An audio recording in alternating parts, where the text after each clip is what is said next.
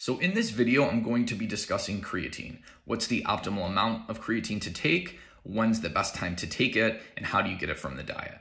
So creatine is made up of three amino acids. It's made up of glycine, arginine, and methionine. So a lot of people aren't synthesizing creatine well because they're not getting enough glycine in the diet. So actually increasing your glycine intake will improve your body's ability to make creatine. On the flip side, taking creatine or getting creatine from the diet is actually going to provide you with glycine as well. So just keep that in mind. Now, creatine's main function in the body is to actually recycle ATP. Okay, so it's actually improving basically energy in the body, um, particularly in the skeletal muscle, but also in the brain.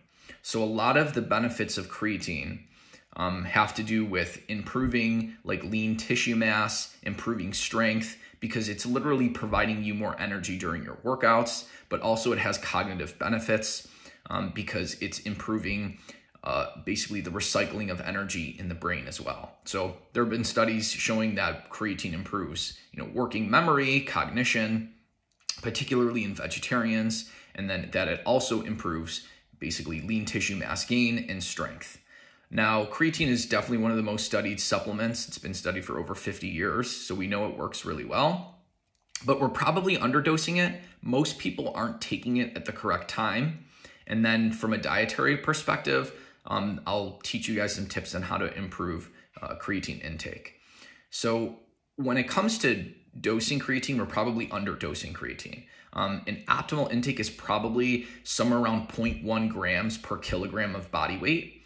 So really creatine uh, shouldn't just be given at like let's say three or five grams. It really depends on not just the person's body weight, but their lean tissue mass, like how muscular they are. So we should actually really be dosing creatine based on muscle mass, but um, the studies really just usually go off body mass. So 0.1 grams per kilogram of body weight. So if someone weighs 70 kilograms, then they probably should be consuming around seven grams of creatine to get an optimal benefit. Now, how do you optimize creatine timing wise? A lot of people will say, well, it doesn't matter like the timing uh, uh of creatine. Well, two studies, Antonio 2013 and Candow 2015, both compared pre exercise creatine to post exercise creatine. And the post exercise creatine was better in regards to improving body composition, improving lean mass gain, and improving strength.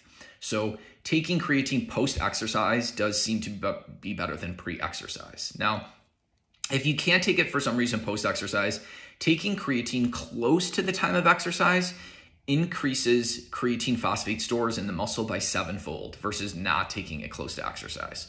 So the so the biggest thing is to take creatine close to exercise, ideally post exercise. And if you want to actually enhance the creatine phosphate stores in the muscle by 50 to 100%, then actually taking that creatine with carbohydrates and protein will improve um, the storage of the creatine phosphate as well because carbs and protein will spike insulin, which will help drive creatine into the muscle. So that will increase creatine phosphate stores by 50 to 100% simply by taking it with carbohydrates and protein.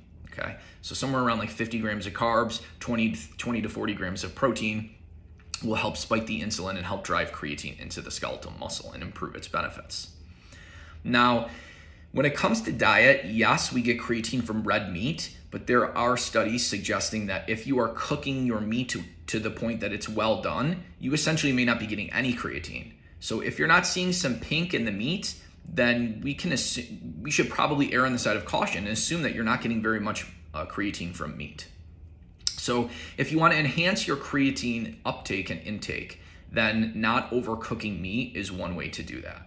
So red meat, um, you know, around a pound of let's say like like a medium cooked uh, steak, one pound of that may give you two grams of creatine, one and a half to two grams of creatine.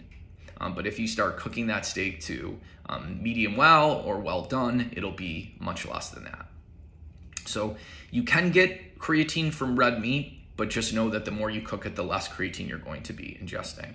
Now, in regards to creatine supplements, the two most common are creatine monohydrate and creatine HCl. The HCl is much more expensive, the monohydrate is much more studied. However, the HCl some people do seem to get some bloating with the monohydrate. So, a quick, easy way around that is to actually just take a smaller dose of that creatine. Um, so, let's say instead of taking five to seven grams all at once, maybe only taking two or three, that can help some of the bloating. However, if that doesn't work, then some people do tolerate the creatine HCl better.